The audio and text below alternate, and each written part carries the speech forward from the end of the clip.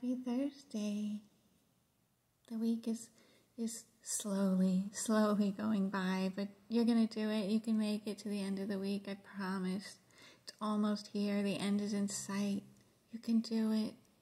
I have confidence in you. I believe in you. And let's make ourselves happier. So today's action for happiness friendly February, February. Be kind, especially when your first instinct is to be unkind. Why is that? Why is our first instinct sometimes just to be an asshole?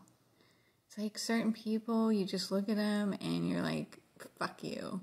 They trigger some visceral reaction, and maybe they remind you of somebody who was mean to you as a child, or your ex who maybe wasn't a pleasant breakup or whatever.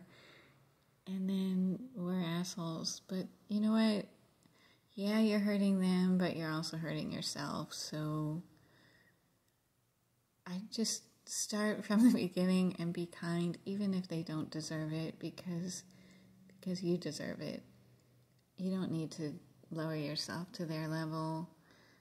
You can uh, be the bigger person, be the better person, I believe in you. Love you guys.